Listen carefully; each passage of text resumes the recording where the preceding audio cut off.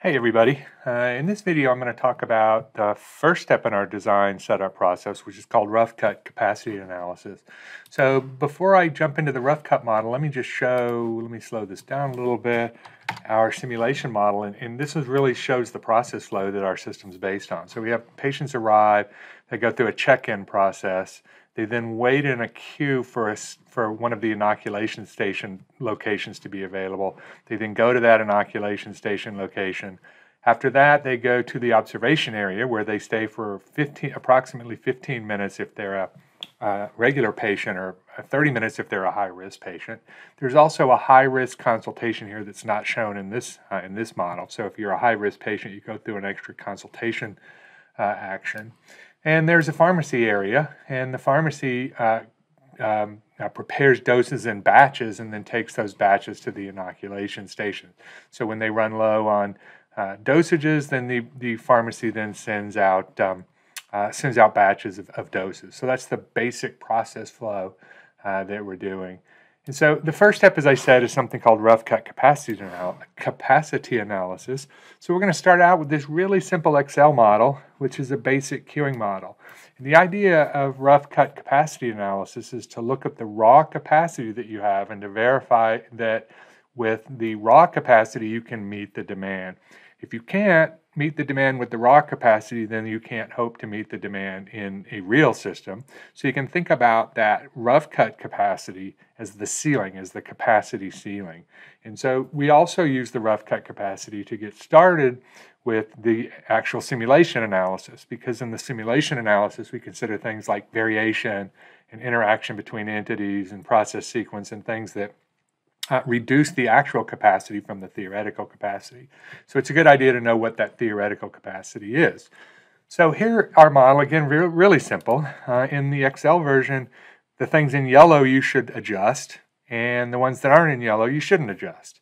And what you should look at are what are shown here is the green ones. So you can think about, for this model, we have a target daily vaccinations, which I have as a thousand here, and the target number of hours per day. And so this is saying if you want to do a thousand vaccinations in eight hours, you need to you need to do 125 per hour. And then based on this number, we then look at the individual areas within the clinic. So we look at the observation area in the parking deck or parking area for cars.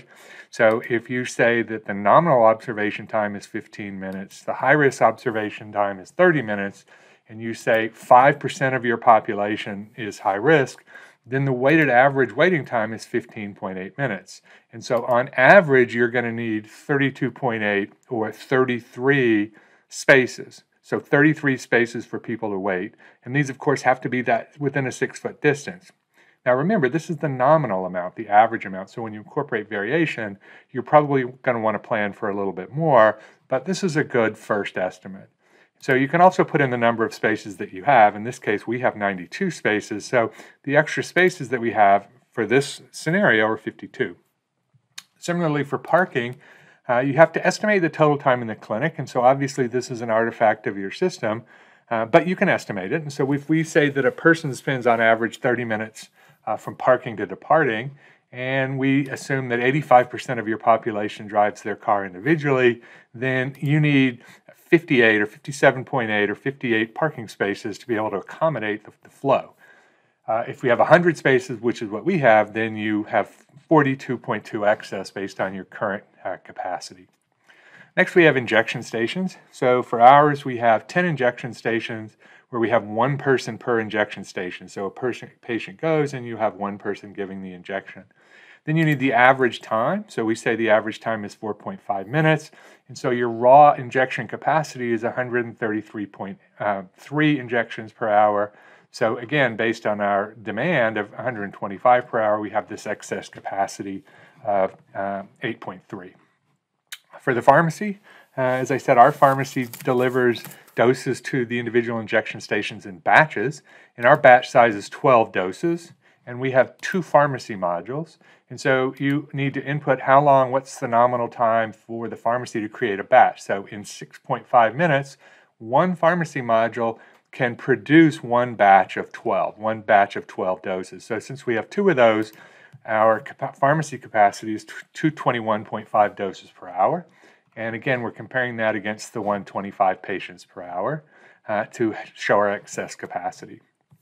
For check-in, how long does it take? What's the average check-in time? And so if you do any kind of computer work here, or if you're verifying someone's ID or something, you need an estimate of that time. In ours, it's 1.75 minutes, and we have four check-in clerks. And so that gives us a raw capacity of 137.43. Uh, and again, an excess capacity of 12.1 patients per hour. And lastly, we have the high risk consultation area where high risk patients, so again, we have this this percentage of the population, 5%, have to go through this additional uh, Q&A for high-risk consultation. And so if we assume that we have one consultant and it takes five minutes, then you have a, a nominal rate of 12 patients per hour. And then if you take that 5% of our arriving population, then you can figure out what your expectation is. And so this is telling us that we have uh, excess consultation capacity of, uh, of 5.8. In other words, we can meet that consultation capacity for the rate of 125 per hour, given that 5% of those are high risk. So basically, if you want to manipulate the model, you can modify the target throughput. So for example, let's say that I wanted to do 1500. So I just change that number to 1500, and immediately what we see down here is our injection station excess capacity is now red, and we have a negative capacity. So basically what that's telling me is I can't handle with 10 injection stations at this time 1,500 uh, patients per day, again, which is 187.5 patients per hour. So I either need to increase my number of injection stations or increase my number of injectors per station, somehow decrease the in in injection time. I have to do something to get this number or I can't support this uh, 1500. But uh, and also check-in, check-in capacity here, we're way under capacity uh, for that. And so using this model, if I wanted to achieve the 1500, what I could do is just adjust these numbers. So let's say that I have six. Six is, uh, turns green, so I have that, that uh, sufficient capacity. Go look at five. I don't have enough at five, so six is going to be the, the raw capacity number here. And let's just stick with one injector per station and say, suppose I had 12. No, 12 stations not going to do it uh, 14. 14 is not going to do it. Uh, 15. So now if you have 15 stations.